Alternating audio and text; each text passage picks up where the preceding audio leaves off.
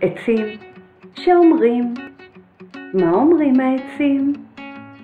כתבה ריקי זקן.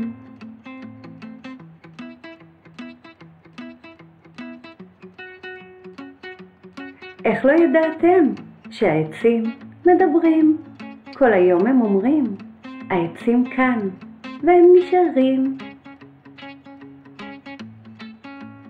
איך לא שמעתם שהעצים מדברים? כל היום בין צמרות מתברברים, פסגות ברוח מתבדרים, העצים מבדרים.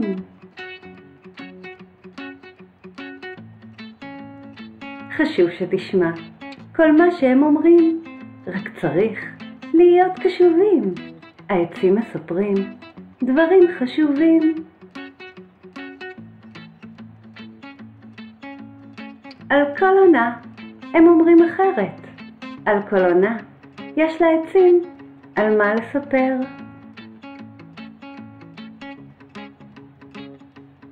ועץ עם עץ מדבר, איך חלף חורף, כאילו מיער, ועץ אחד רצה שהחורף יישאר, כי יש עצים שאוהבים חורף.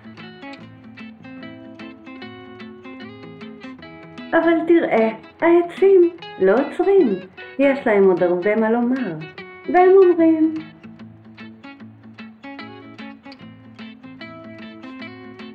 כל יום, כל רגע, בו אתה מקשיב, כל רגע שאת המבט אל העץ אתה שולח, העץ אומר שהוא שמח.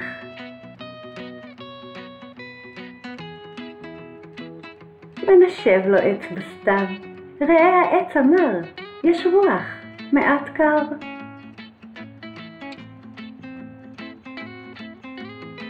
ובקיץ עץ יבש, כך כובע מבקש, הנה באה השמש.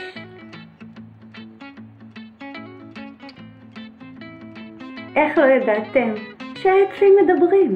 כל היום הם אומרים, מתברברים, מתבדרים.